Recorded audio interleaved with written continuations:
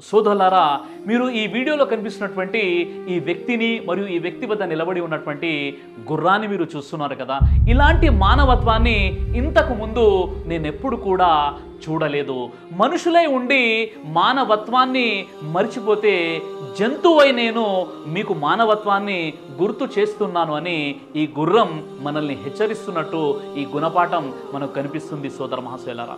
దీనికి సంబంధించి పూర్వపరాలని మీరు చూసినట్లయితే ఈ వ్యక్తి ఎవరైతే ఉన్నాడో ఈ వ్యక్తి ఆ గుర్రం యొక్క యజమాని. ఈ గుర్రాన్ని చాలా మంచిగా చూసుకునేవాడు సమయానికి మేత పెట్టేవాడు. ఆ గుర్రానికి సమయానికి నీళ్ళు పెట్టడం మేత పెట్టడం ఏదైనా ఆరోగ్యానికి గురైపోతే పశు వైద్యుల్ని పిలిపించేసి దానికి ట్రీట్మెంట్ కూడా చేయించేవాడు. అలా కొన్ని సంవత్సరాలు గడిచిపోయాయి. ఈ గుర్రం యొక్క యజమాని అరవై సంవత్సరాల వయసుకు చేరుకున్నాడు. తీవ్ర అనారోగ్యానికి గురైపోయి ఆ వ్యక్తి హాస్పిటలైజ్డ్ అయిపోయాడు. ఆ తర్వాత ఆ గుర్రం దిగులుతో ఉంది. ఈ గుర్రం ఆ వ్యక్తి యొక్క శబ్దం వినగానే వచ్చి అతని ముందు నిలబడేది. అతన్ని గుర్తుపట్టేది అలాంటి వ్యక్తి ఆ యజమాని ఎక్కడున్నాడు అని అది చాలా బెంగ పెట్టుకుంది. కొన్ని రోజుల తర్వాత హాస్పిటల్ నుండి డిశ్చార్జ్ అయిపోయి ఆ వ్యక్తి ఇంటికి వచ్చేసి మంచాన పడిపోయాడు. ఇక అతడు దిగలేడు ఎలాంటి పనులు చేయలేడు. అప్పుడు అతడు హాస్పిటల్ నుండి ఇంటికి రాగానే ఆ గుర్రం అతని వద్దకు వచ్చేసి తన యజమాని యొక్క పరిస్థితిని చూసి చాలా దయనీయంగా అతని చెయ్యి తన నోటితో కరుచుకొని ఏ విధంగా ఏ ఎమోషనల్తో ఆ యొక్క యజమానిని అది పలకరిస్తుందో ఒక్కసారి ఈ వీడియోలో మీరే చూడండి.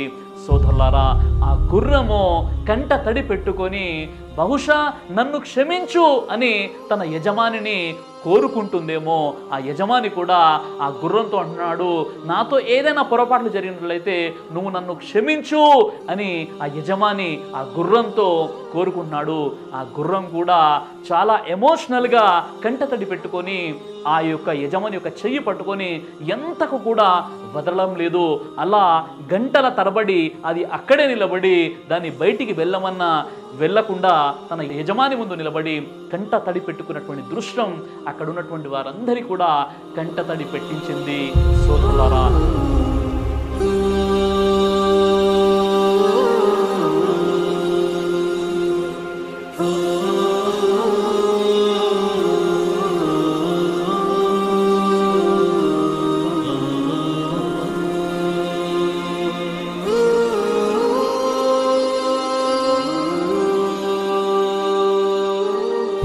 ఇస్లాం గురించి కూడా అల్లా సుమతల హురాన్లో తెలియజేశాడు.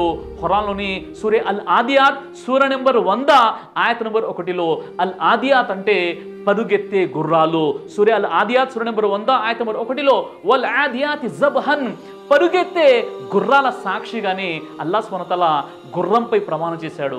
ఎందుకంటే గుర్రాలు ఆ యొక్క రణరంగంలో ఎదుటి వ్యక్తి యొక్క బాణాలు అదేవిధంగా ఖడ్గాలు వచ్చి తగులుతాయి అని తెలిసిన తర్వాత కూడా తన యజమానికి ఎంతగా విధేయత చూపుతాయంటే మా ప్రాణాలు పోయినా మా యజమాని ఏది చెప్తే అదే చేస్తాము అనేటటువంటి ఒక భరోసా ఆ నమ్మకం అనేది గుర్రాల్లో ఉంటాయి. అందుకే అల్లా సుమనతల అల్ ఆదియాత్ అనేటటువంటి పరిగెత్తే గుర్రాలు అనేటటువంటి ఒక అధ్యాయాన్ని హొరాన్లో అవతరింపజేశాడు. ఈ సృష్టిలో ఉన్న ప్రతి జంతువుకి ప్రతి జీవికి ఒక మూగ భాష అనేది ఉంటుంది.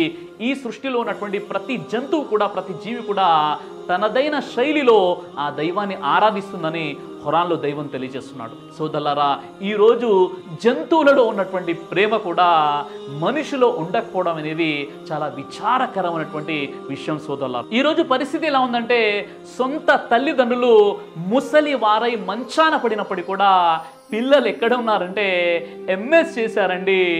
ఎంబీబీఎస్ చేశారు. వారు ఒక పెద్ద పొజిషన్లో యుఎస్లో ఉన్నారండి అని వృద్ధ తల్లిదండ్రులు వారి యొక్క ఆవేదనను తమ పెదాలపై ఎదుటి వ్యక్తికి కష్టంగా కనిపించకుండా వారు గుర్తుపట్టకుండా తమ పిల్లల గొప్పతనం గురించి గుండెల్లో ఉన్నటువంటి ఆ భారాన్ని పెదవుల ద్వారా ఎదుటి వ్యక్తికి తెలియకుండా వారు వ్యక్తపరుస్తున్నారు.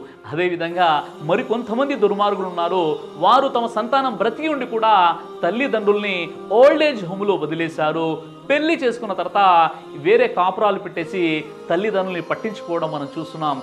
ఇలాంటి తరుణంలో ఈ గుర్రము తన యజమానిపై ఎలాంటి ప్రేమను ఎలాంటి ఆప్యాయతను ఎలాంటి విధేతను చూపిస్తుందో ఒక్కసారి ఈ జంతువులో ఉన్నటువంటి మానవత్వాన్ని చూసి మనమైన సిగ్గు తెచ్చుకునేటటువంటి ప్రయత్నం చేద్దాం. సోదర మహోత్సవాలారా చూడండి సోదరులారా రోజు ఎంతో మంది పుడుతున్నారు కానీ మానవత్వం అనేది ఎక్కడో ఒక చోట మాత్రమే పుడుతుంది.